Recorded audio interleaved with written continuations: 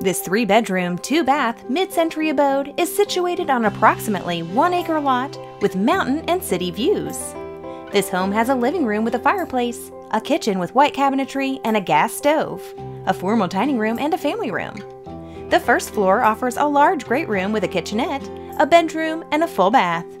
Caren Connolly can tell you more.